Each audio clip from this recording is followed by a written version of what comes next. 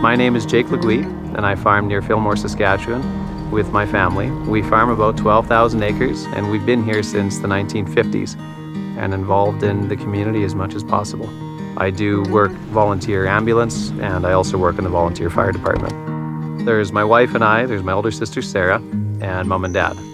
I started farming in uh, 2006. I was still in high school then.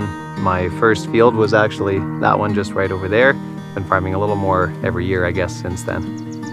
A lot of the reason that consumers are so interested in where their food comes from today is parents want to know that they're feeding their children food that, that is healthy and nutritious and, and safe.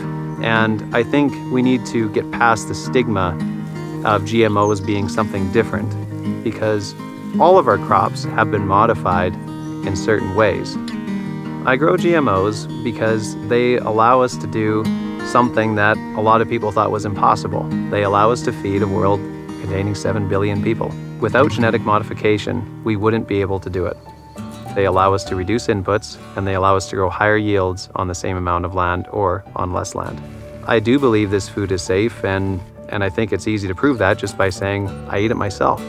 There's actually been a trillion meal study completed recently that looked at the effects of 20 years of GMOs being on the market, and not one negative health effect was found. Biotechnology and pesticides have to fit together.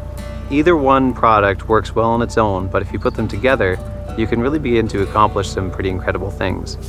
Genetic modification is going to allow us to do things that before were impossible, and it excites me to think about the potential to help against a variety of stresses, not just herbicides, to reduce malnutrition, to grow better crops that have more nutrition built into them. There's no company out there that forces me to grow these crops. It's my choice.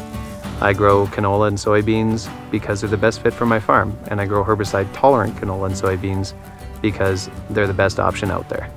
We want to make sure that we're doing things right. We want to make sure that the land that we're farming is still able to be farmed in the future, and that means looking after it. We are in the operation that does feed the world, and it does kind of ground you a little bit and make you realize that what you're doing is, is important.